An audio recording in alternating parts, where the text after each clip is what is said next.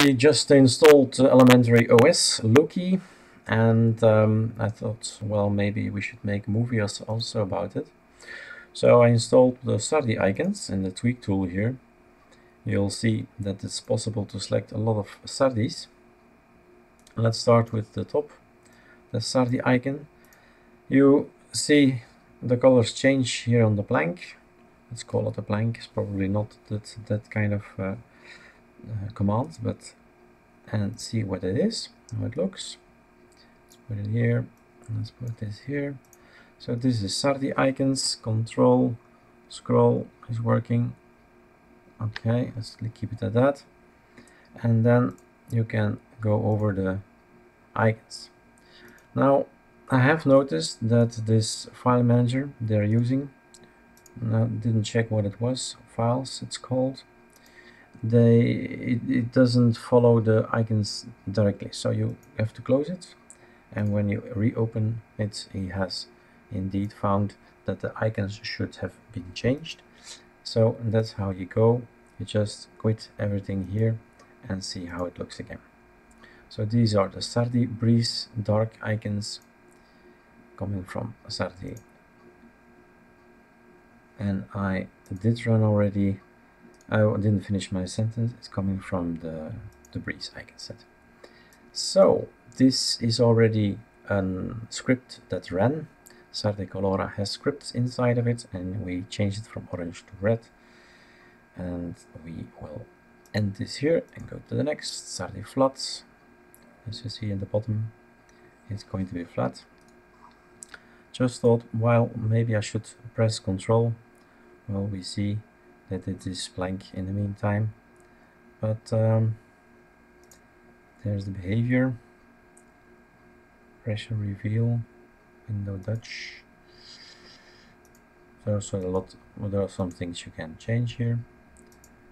And transparent as well. Maybe this one.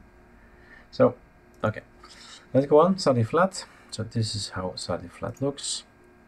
And when you go to the directory, it's like that. Flat Colora, did we run it already?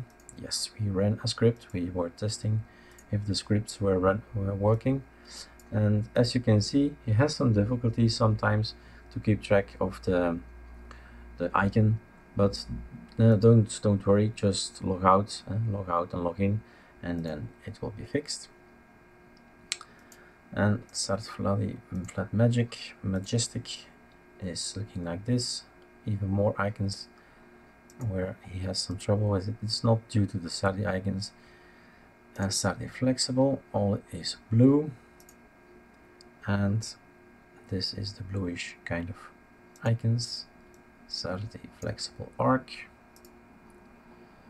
These are the arc icons goes flexible if you want to go all white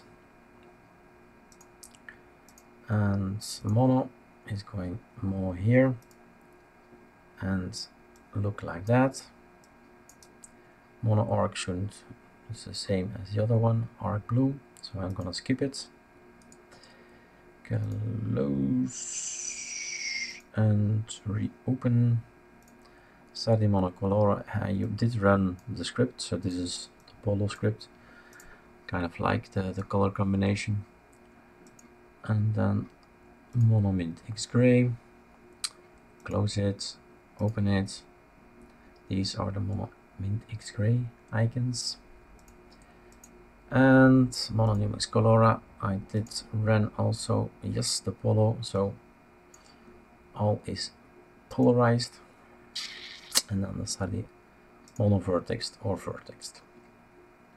So everything seems to work fine. And let's go back to an initial choice like this one. All right. Closing, opening it again. And it will catch up. Maybe, I do think you, you need to log out and log in. So these pictures will be also conform to the icon theme you chose. quick look what did I change I, ch I had to change this little icon here and I had to add this little icon here so this is how it looks that's a normal icon I think now I'm gonna check that out why it's looked like this. Because of the Numix selection I think and then it's no problem. So the question is is it coming from one of my icons themes then it's okay no problem. Uh, wrong button this don't need this. Uh, question is is Sardi Mono also the same? If that's the same is that the case then it's fine. Two three and four so no it's really is coming from the Sardi Mono Numix uh, so the Numix kind of look.